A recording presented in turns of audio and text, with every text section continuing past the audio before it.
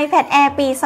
2024 ชิปใหม่ ดีไซน์เดิม เพิ่มเติมคือหน้าจอ 13 นิ้วค่ะทุกคน แล้วก็มี 11 นิ้วให้เลือกซื้อด้วยในปีนี้ ตัวเลือกมากมายเลยอาจทำให้หลายคนนะคะ เกิดข้อสงสัยหรือว่าเกิดข้อลังเลว่าจะซื้อ iPad Air มาใช้ดีไหม หรือจะไป iPad Pro ดีนะคะ แต่ว่าคลิปนี้นุงดีจะมารีวิว iPad Air ให้ทุกคนได้ชมกันค่ะ ว่าอัปเกรดมาใหม่แล้ว ดีขึ้นแล้วก็มีอะไรที่น่าประทับใจบ้างค่ะ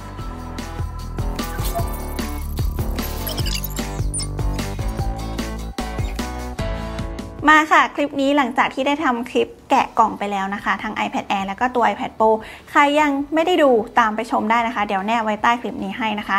คลิปนี้จะมาโฟกัสที่ iPad Air รุ่นใหม่ล่าสุดนะคะ ซึ่ง 2 สีที่อยู่ในมือของนุ้งนิกนี้นะคะ เริ่มที่ตัว 11 นิ้วก่อนเป็นสีฟ้าค่ะ แล้วมาที่ตัว 13 นิ้วนะคะ เป็นสีม่วงนะคะ สี purple นะ นุ้งนิกมองว่าสวยทั้ง 2 สีเลย ใครที่ชอบโทนนี้นะคะ สีแบบอ่อนๆ ที่มาอยู่ใน iPad Air รุ่นใหม่นี้น่าจะชอบเช่นกันนะคะ เดี๋ยวขอบอกสเปคโดยรวมของ iPad Air ทั้ง 2 เครื่องก่อนนะคะ ตัว iPad Air มาพร้อมกับชิป M2 อย่างที่เราทราบค่ะ ซึ่งชิป M2 เนี่ยเขาจะให้ CPU มา 8 คอ GPU อยู่ที่ 9 คอ Neural Engine 16 คอนะคะ RAM 8 GB เท่ากันทุกความจุค่ะสำหรับตัว iPad Air 11 นิ้วนะคะ อาจจะไม่ใช่เรื่องใหม่สำหรับเราทุกคนที่เคยจับมาแล้วนะคะ อย่างตัว iPad รุ่นที่ 5 นะคะ ก็มีขนาดหน้าจอ 10.9 นิ้วเช่นกัน และขนาดหน้าจอมันก็ไม่ได้หนีห่างกันมาก ดีไซน์โดยรวมก็ยังคงเหมือนเดิมนะคะ เป็นดีไซน์แบบ แอร์เป็นแฟลตแบบเหลี่ยมนะคะ ซึ่งมาพร้อมน้ำหนักเบา แต่สิ่งที่เปลี่ยนไปคือหน้าจอที่เพิ่มเข้ามาค่ะทุกคน หน้าจอ 13 นิ้วใน iPad Air ครั้งแรกนะคะ เดี๋ยวเทียบให้ดูว่าพอจอมันมาอยู่ใกล้กันอะสเกลหน้าจอมันแตกต่างกันขนาดไหนอ่าเห็นไหมคะทุกคนนี่คือ 11 นิ้วและนี่คือ 13 นิ้วนะคะ ด้วยหน้าจอที่มันใหญ่กว่ากันนะคะ ก็จะทำให้ตัว iPad Air 13 นิ้วเนี่ย มีความสว่างหน้าจอเยอะกว่านะ อยู่ที่ 20%ตัว 11 นิ้วเนี่ยความสว่างหน้าจอสูงสุดจะอยู่ที่ 500 นิต ส่วนตัว 13 นิ้วนะคะ ความสว่างหน้าจอของเขาจะอยู่ที่ 600 นิตค่ะหน้าจอของ iPad ทั้ง 2 ขนาดนะคะ ยังเป็นหน้าจอ LCD หรือว่า Liquid Retina เหมือนเดิม Refresh Rate อยู่ที่ 60 Hz ค่ะ ตอนแรกก็แอบสงสัยนะคะว่าถ้าเกิดว่า iPad Air มีหน้าจอ 13 นิ้วเนี่ย มันจะต่างอะไรกับ iPad Pro นึกออกไหมคือ ตัวเราก็เคยจับ iPad Pro 12.9 นิ้วมาก่อนนะคะ แต่พอได้ลองจับตัวจริงแล้วมันให้ความรู้สึกที่แตกต่างกันนะคะ ดีไซน์ตัวเครื่องอาจจะเป็นแบบแฟลตเหมือนกันไม่ได้แตกต่างกันมาก แต่ดีไซน์กล้องหลังเพียงหนึ่งตัวรวมถึงสีสันสดใสที่เขาใส่มาใน iPad Air นะคะ ซึ่งนอกจากสีม่วงกับสีฟ้าเนี่ยเขาก็จะมีสี Starlight แล้วก็สี Space Gray ด้วยนะคะ มันทำให้ iPad Air แตกต่างจาก iPad Pro จริงนะ บวกอีกหนึ่งเรื่องก็คือเรื่องของน้ำหนักค่ะตัว iPad Pro 12.9 นิ้วที่เป็นชิป M2 เป็นรุ่นเก่านะคะ ที่ไม่ใช่ดีไซน์บางใหม่ล่าสุดอันนี้นะคะ มันค่อนข้างมีน้ำหนักมากกว่า iPad Air เครื่องนี้นะคะ iPad Air เครื่องนี้กับ iPad Pro รุ่นเก่าเนี่ยน้ำหนักจะต่างกันประมาณ 60-70 กรัมนะคะ เพราะฉะนั้น iPad Air เครื่องนี้ถึงแม้ว่าจะเป็นหน้าจอ 13 นิ้ว ก็ยังคงเป็น iPad Air อยู่ดี รอบๆ ตัวเครื่องนะคะ ยังเป็นดีไซน์ที่เราคุ้นเคยก็คือมาพร้อมกับการสแกน Touch ID ที่ปุ่ม Home นะคะ มาพร้อมพอร์ต USB-C นะคะ แล้วที่สำคัญ มาพร้อมกับแถบแม่เหล็กสำหรับดูดติดกับ Apple Pencil บริเวณด้านบนตัวเครื่องที่เป็นแนวนอนตรงนี้ค่ะ คนที่เคยจับ iPad Air ครั้งแรกนะคะ อันนี้ขอบอกข้อมูลไว้นะ ถึงแม้ว่าดูรอบตัวเครื่องแล้วมันเหมือนจะมีรูลำโพง 4 จุดใช่ไหม แต่จริงๆ แล้วเนี่ย iPad Air เขาใส่ลำโพงมาแค่ 2 ตัวเท่านั้นนะ แตกต่างจาก iPad Pro นะคะ ที่เขามีลำโพงมาให้ 4 ตัว สิ่งที่เปลี่ยนไปไฮไลท์สำคัญของ iPad Air ในรอบนี้เลยก็คือการวางกล้องหน้าในแนวนอนค่ะทุกคน ทีแรกมันอยู่ที่แนวตั้งนะคะ บริเวณด้านบนของ iPad พอถูกย้ายมาในแนวนอน สิ่งที่ได้มาก็คือ มุมกล้องที่กว้างขึ้นเวลาที่เราวางเขาในแนวนอนแล้วเราเปิดกล้องหน้านะคะ ก็จะเห็นมุมภาพที่กว้างขึ้นค่ะ เดี๋ยวจะขึ้น insert เปรียบเทียบให้นะคะกับ กล้องหน้าของ iPad Pro 12.9 นิ้วที่วางในแนวตั้งค่ะ ส่วนอีกตัวก็จะเป็น iPad Air 13 นิ้วที่ย้ายกล้องมาวางในแนวนอน ก็จะเห็นว่าบริเวณมุมภาพอะ่ะ มันกว้างขึ้นเวลาที่มีคนมาอยู่ในเฟรมเยอะขึ้น มันก็จะดูไม่ได้อึดอัด แล้วฉากหลังเนี่ยมันก็จะดูกว้างมากขึ้นทำให้เราตัวเล็กลงนะคะ อันนี้เป็นความรู้สึกส่วนตัวนะ 1 ฟีเจอร์นะคะ ที่ iPad Air มีเหมือนกับ iPad Pro เลยก็คือรองรับฟีเจอร์ Center Stage หรือว่าจัดให้อยู่ตรงกลางที่พูดไปเมื่อกี้ ก็คือเวลาที่เราเปิดประชุมออนไลน์นะคะ ตัวเราก็จะถูกจัดให้อยู่ตรงกลางเสมอ ถึงแม้ว่าในเฟรมจะมีหลายคน แต่เขาก็จะจัดให้ทุกคนอยู่ในเฟรมเดียวกันได้ อีกหนึ่งสิ่งที่ไม่พูดถึงไม่ได้ที่เป็นสิ่งใหม่เลยก็คือชิปประมวลผลที่ถูกนำมาใส่ใน iPad Air นะคะ ซึ่งเป็นชิป M2 ค่ะทุกคน ถ้าเป็น gen ก่อน iPad Air 5 เขาจะใช้ชิป M1 นะ ขยับมาอีก1 step เป็นชิป M2 นะคะ แล้วสงสัยกันใช่ไหมว่าชิป M2 มันทำให้การใช้งานของเราดีขึ้นลื่นไหลขึ้นหรือไม่นะคะ เดี๋ยวมาเล่าประสบการณ์ให้ฟังสำหรับในเรื่องนี้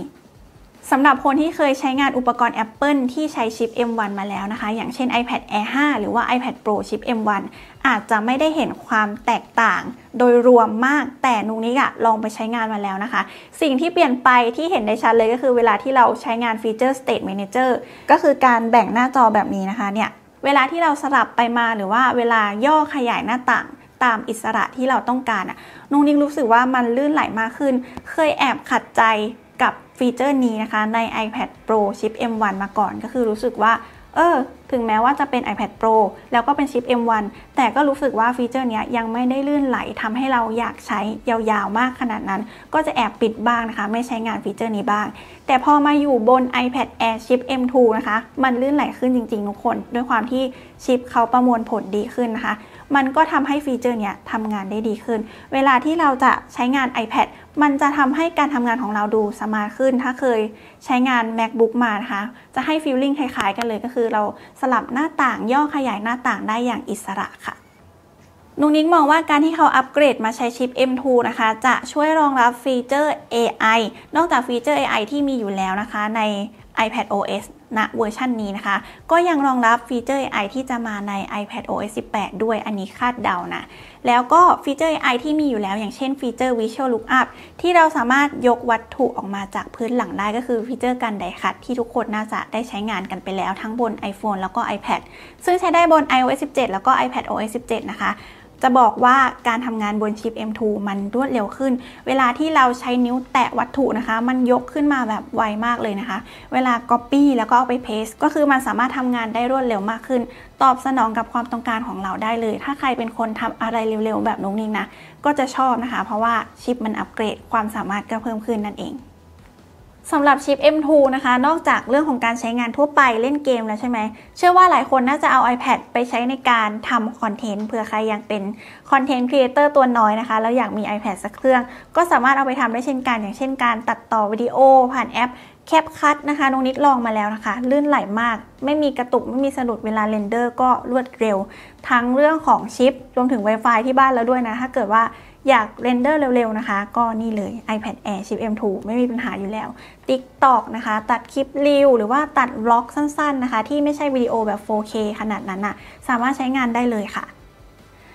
ทีนี้หลายคนนะคะน่าจะเคยใช้ฟีเจอร์การทำงานแบบแบ่งหน้าจอบน iPad นะคะ ซึ่งนุ้งนิ้งเคยลองใช้แล้วแหละบน iPad 11 นิ้วนะคะ แต่พอมันมาเป็น 13 นิ้ว มันก็ให้ประสบการณ์ที่ดีกว่าอยู่แล้ว ด้วยขนาดหน้าจอที่ใหญ่ มันก็จะให้พื้นที่ในการทำงานที่ดีขึ้น ไม่ว่าจะเป็นพื้นที่ในการพิมพ์ แล้วก็หาข้อมูลไปด้วย หรือว่าพื้นที่ในการวาดเขียนขีดเขียนวาดรูป แล้วก็ดู reference ไปด้วยนะคะ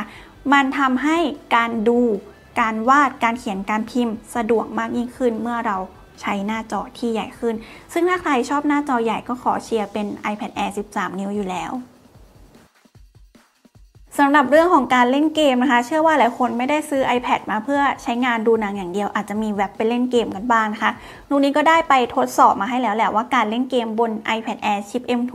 เป็นยังไงบ้างนะคะสำหรับตัวนุ้งนิ้งมองว่าถ้าใครที่ชอบเล่นเกมนะก็ขอเชียร์เป็น iPad Air 13 นิ้วเช่นกัน นอกจากหน้าจอจะใหญ่กว่าแล้ว ก็ยังมีความสว่างหน้าจอที่มากกว่าถึง 20%ถ้าเทียบกับตัว 11 นิ้วนะคะ แล้วก็การเล่นเกมลื่นไหลค่ะนุ้งนิ้งเล่นเกมชิน Impact นะคะ เปิดภาพสูงมากทุกอย่างพยายามเปิดอะไรให้ปรับสุดไปด้วย ก็สามารถเล่นได้ลื่นไหลเวลาที่ลงดันเปลี่ยนปรับเปลี่ยน skill หรือว่าเวลาที่เปลี่ยนตัวละครเพื่อ combo skill ไม่มีการงอแงไม่มีการกระตุก และที่สำคัญก็สามารถเล่นได้ยาวๆ ความร้อนที่เกิดขึ้นไม่ได้ร้อนมากนะคะนุ้งนิ้งเล่นประมาณครึ่งชั่วโมงถึง 1 ชั่วโมงนะคะ มันจะเกิดความอุ่นๆนิดนึงนะคะ ที่หลังเครื่อง แต่ว่าไม่เกิดปัญหาอะไร เพราะฉะนั้นถ้าเกิดว่าซื้อ iPad Air ไปใช้งาน เรียนทำงานเล่นเกมนะคะ ก็สามารถซื้อ iPad Air ไปใช้เล่นเกมได้เช่นกัน เพราะว่าเกม Genshin Impact เนี่ยภาพสวยสเปคโหดแล้วใช่ไหมคือมันสามารถ run ได้แบบลื่นไหล ถ้าเล่นเกมอื่นก็ไม่น่าจะมีปัญหาอะไรค่ะ เสริมอีกนิดนึงนะคะ ถ้าเกิดว่าคุณเป็นคนชอบเล่นเกมระดับ Triple A หรือว่าเกมคอนโซลที่พอร์ตลงมาใน iPad OS นะคะ อย่างเช่น Resident Evil Village นะคะ Resident Evil 4 รวมถึง Assassin's Creed เกมใหม่ล่าสุดที่กำลังจะพอร์ตมาลงใน App Store นะคะ เป็นภาค Mirage นะ ก็จะพร้อมให้เล่นในวันที่ 6 มิถุนายนนี้นะคะ ถ้าเป็นสาวกเกมคอนโซลก็สามารถซื้อมาเล่นบน iPad Air ได้เช่นกัน เพราะว่าชิปเขาเป็นชิปตระกูล M M2 เนี่ยรองรับการเล่นเกมคอนโซลอยู่แล้วค่ะ เรื่องของประสิทธิภาพในการใช้งาน iPad Air เล่นเกมคอนโซลระดับ Triple A นะคะลุงนี้ไปลอง Resident Evil Village มาทุกคน ประสบการณ์ที่ได้คือมันมีความกระตุกเล็กน้อยนะคะ ด้วยแรมของเขาที่มีแรม8 g b อะนะ แต่ว่าภาพก็ดูโอเคไม่ได้แย่มากนะคะ และด้วยหน้าจอของเขาเป็น LCD มันก็จะได้ภาพประมาณที่โอเค ดูแล้ว เสพเนื้อหาได้ได้เนื้อเรื่องแล้วก็เล่นสนุกนะคะ แต่ถ้าเกิดว่าอยากได้ภาพสวยตาแตกเลยเล่นลื่นๆ เปิดทุกอย่างสุดนะคะ ก็แนะนำไป iPad Pro มากกว่าแต่ถ้าเกิดว่าคุณมีงบแค่ iPad Air นะคะ แล้วอยากเล่นเกมพวกนี้จริงๆ ก็สามารถใช้ได้เหมือนกัน แต่ว่าให้ปรับตามสเปคที่เขาแนะนำหรือว่าสเปคเริ่มต้นก็สามารถใช้งานได้เล่นได้ยาวๆเลยค่ะอ๋อและที่สำคัญอย่าลืมนะคะเกม controller หรือว่าจอยนะคะ เอามาเล่นกับเกมพวกนี้ สามารถเชื่อมต่อกับ iPad ผ่านบลูทูธได้เลยค่ะ สำหรับในเรื่องของการเชื่อมต่อนะคะ iPad Air เนี่ยรองรับ Wi-Fi 6E Bluetooth 5.3 นะคะ ส่วนรุ่น Cellular นะคะ ก็สามารถใส่ eSIM ได้นะคะ เขาตัดถาดซิมออกไปแล้วนะทุกคน ถ้าใครอยากได้รุ่น Cellular อย่าลืมพิจารณาในข้อนี้ด้วยนะคะ ต่อมาคือการรองรับพอร์ต USB-C นะคะ ไม่ได้รองรับ Thunderbolt เหมือนกับ iPad Pro นะคะ ซึ่งพอร์ต USB-C ใน iPad Air นะคะ เป็น USB 3 นะคะ รองรับความเร็วการเชื่อมต่อสูงสุดอยู่ที่ 10 กิกะบิตต่อวินาทีนะคะ นอกจากนี้ยังรองรับ Display Port ด้วยนะคะ ทุกคนก็คือการต่อจอเสริมนั่นเอง สามารถใช้สาย USB-C to C นะคะ หรือว่า USB-C to HDMI เพื่อต่อจอเสริมได้ อย่างใครมีงบ แค่ iPad Air 11 นิ้วนะคะ ก็สามารถต่อจอเสริมได้ ซึ่งจะรองรับการต่อจอภายนอกได้สูงสุด 1 จอนะคะ แต่ที่ความชัดระดับ 6K ที่ 60 Hz ค่ะทุกคน และสำหรับใครที่มี Apple TV ที่บ้าน ซึ่งเป็น Apple TV 4K นะคะ หรือว่าทีวีที่รองรับก็สามารถส่งสัญญาณภาพแบบสะท้อนภาพหรือว่า AirPlay ไปที่หน้าจอเพื่อดูคอนเทนต์ที่ใหญ่ขึ้นได้เช่นกัน ก็รองรับความละเอียดสูงสุดที่ 4K ค่ะ อีกหนึ่งเรื่องสำคัญก็คือเรื่องของแบตเตอรี่เผื่อมีคนสงสัยนะคะว่า ถ้าเกิดว่าเราชอบ iPad Air 11 นิ้วแต่อยากได้แบตเยอะขึ้นขยับไปเป็น 13 นิ้วได้ไหมเพราะว่าคิดว่าแบตน่าจะเยอะกว่าหรือเปล่าใช้งานได้นานกว่าหรือเปล่านะคะ อันนี้ตามเว็บไซต์ apple.com เลยนะคะ ที่หน้าสเปคข้อมูล เขาบอกว่า iPad Air 11 นิ้วเนี่ยเขามีแบตเตอรี่อยู่ที่ 28.93 วัตต์ชั่วโมง ส่วน iPad Air 13 นิ้วนะคะ เยอะกว่าอยู่ที่ 36.59 วัตต์ชั่วโมง ก็จะเห็นตัวเลขที่แตกต่างกันอยู่แปลว่า iPad Air 13 นิ้วนะคะ มีแบตเตอรี่ความจุที่เยอะกว่า แต่ในทางของการใช้งานค่ะทุกคน Apple เขาเขียนไว้ว่าทั้ง 2 รุ่นนี้ไม่ว่าจะเป็น 11 แล้วก็ 13 นิ้ว สามารถดูวิดีโอได้สูงสุด 10 ชั่วโมง ก็คือการใช้งานแบตเตอรี่เท่ากันเลยถัดมาค่ะเรื่องของอุปกรณ์เสริมที่สามารถใช้งานได้กับ iPad Air ทั้ง 2 ขนาดหน้าจอนะคะ ก็คือ iPad Air Chip M2 เนี่ย เอาเรื่องของ Apple Pencil ก่อนเนาะ รองรับ Apple Pencil Pro รุ่นใหม่ล่าสุดนะคะ ซึ่งเปิดตัวมาพร้อมกับ iPad Pro นั่นแหละ ตัว Apple Pencil Pro นะคะ สามารถเอามาดูดติดกับแม่เหล็กที่อยู่ข้างตัวเครื่องเพื่อชาร์จแบตแล้วก็เชื่อมต่อได้เลย แต่ Apple Pencil Port USB-C นะคะ เวลาที่จะใช้งานเนี่ย จะต้องเสียบสาย USB-C ที่ซ่อนอยู่ในตัว Pencil ก่อน แล้วก็เสียบเข้ากับ iPad นะคะ ถึงจะใช้งานได้แล้วก็สามารถใช้ชาร์จได้ด้วยค่ะ ฟีเจอร์ Apple Pencil ที่สำคัญที่สามารถใช้งานได้บน iPad Air ซึ่งเหมือนกับ iPad Pro เลยก็คือ Apple Pencil Hover หรือก็คือเงาปากกาที่อยู่บนหน้าจอนะคะ รองรับด้วยนะคะบน iPad Air ทั้ง 2 ขนาดหน้าจอเลยนะคะ ถ้าเกิดว่าอยากเล่นฟีเจอร์ Hover นะคะ ก็ต้องมองเป็น iPad Air รุ่นใหม่อยู่แล้วนะคะ ใช้ได้กับทั้ง Apple Pencil USB-C แล้วก็ Apple Pencil Pro เลยค่ะทุกคน อีกหนึ่งเรื่องไฮไลท์ที่สำคัญที่อยากให้รู้นะคะ ถึงแม้ว่าจะเป็น iPad Air แต่ว่ารองรับ Apple Pencil Pro ก็เลยทำให้เราสามารถใช้งานฟีเจอร์ระดับโปรได้บน Apple Pencil Pro ไม่ว่าจะเป็นฟีเจอร์การบีบ Pencil แล้วก็มีการตอบสนองแบบสั่นนะคะ เมื่อไหร่ที่เราบีบ Pencil ก็จะช่วยให้การเปลี่ยนเครื่องมือเนี่ยทำได้ง่ายขึ้นนะคะ แล้วที่สำคัญนะคะก็คือฟีเจอร์ gyroscope ที่อยู่ใน Apple Pencil Pro ก็รองรับเช่นกันนะคะ สามารถใช้งานบน iPad Air ได้เลยเวลาที่หมุนเอียงหัวเพนซิลนะคะ ทิศทางของเส้นมันก็จะไปตามนั้น เพราะฉะนั้นการวาดเขียนบน iPad Air กับ Apple Pencil Pro เนี่ยก็จะสนุกมากขึ้น ถัดมาเลยก็คืออุปกรณ์เสริมในเรื่องของ Magic Keyboard ละกันค่ะ นี่คือ Magic Keyboard รุ่นเก่านะคะ ตัว iPad Air เนี่ยจะรองรับ Magic Keyboard รุ่นเก่า ซึ่งเป็นดีไซน์เก่านะคะ ถ้าเกิดว่าอยากได้ Magic Keyboard รุ่นใหม่ที่เปิดตัวมาพร้อมกับ iPad Pro ที่วัสดุเขาเป็นอลูมิเนียมอะ อันนี้ไม่สามารถใช้งานได้กับตัว iPad Air นะคะทุกคน iPad Air ถ้าเกิดว่าไปซื้อนะคะเขาจะมี Magic Keyboard ให้เลือก 2 ไซส์ก็คือ 11 แล้วก็ 13 นิ้วนะคะ มี 2 สี สีขาวแล้วก็สีดำนะคะ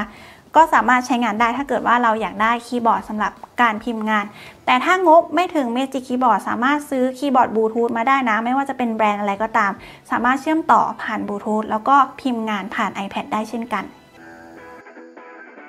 จบเรื่องอุปกรณ์เสริมไปแล้วนะคะ เดี๋ยวมาขอตบเรื่องสีกับราคาอีกหนึ่งรอบนะคะเผื่อใครไม่เคยดูคลิปสรุปจากช่องเราเลยนะคะสำหรับตัว iPad Air รุ่นใหม่ล่าสุดของปี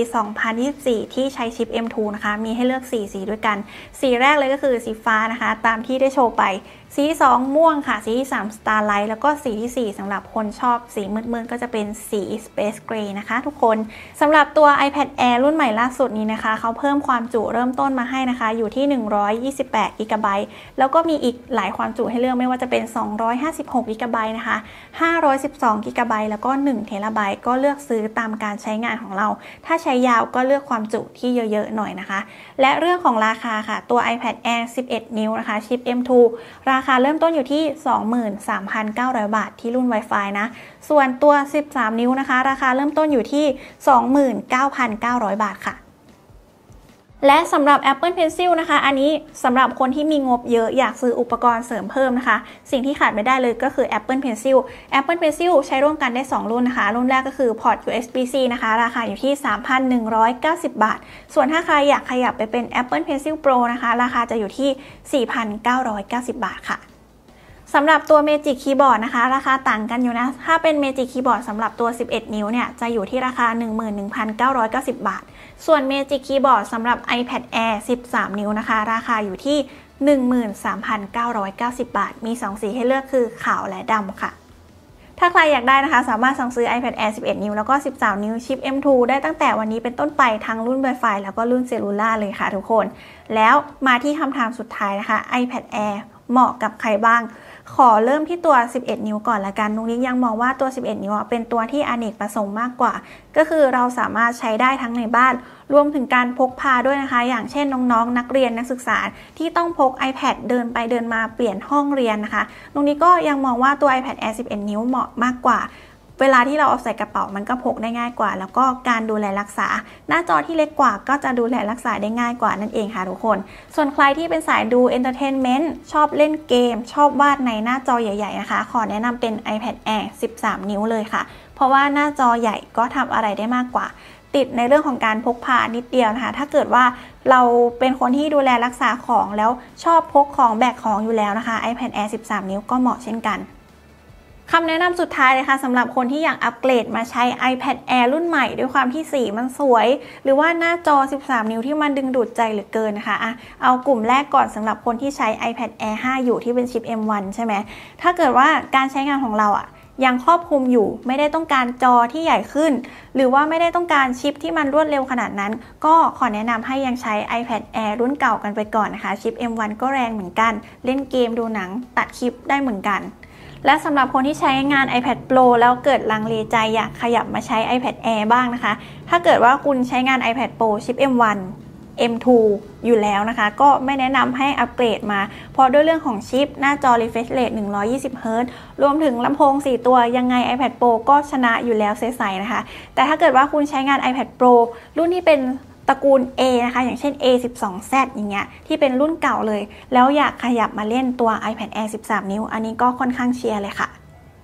ดูรีวิวจบแล้วนะคะ ใครที่สั่งซื้อมาแล้วบ้างยกมือหน่อยนะคะ ส่วนตอนตรงนี้เนี่ยยังเลือกไม่ถูกเลยระหว่าง 11 กับ 13 นิ้วนะคะ เพราะว่ามีข้อดีแตกต่างกันนะ แล้วก็ถ้าใครกดสีอะไรมาความจุอะไรนะคะ แล้วก็เหตุผลที่สั่งซื้อ iPad Air รุ่นนี้มา เพราะว่าอะไรฝากคอมเมนต์ไว้ใต้คลิปนี้หน่อยนะคะ จะได้หยิบมาทำคอนเทนต์ให้ทุกคนได้ดูต่อไปนะคะสำหรับคลิปนี้ฝากกดไลค์กดแชร์กดติดตามช่อง Air Mode Official ด้วยนะคะ คลิปนี้ก็ขอลาไปก่อนค่ะ สวัสดีค่ะ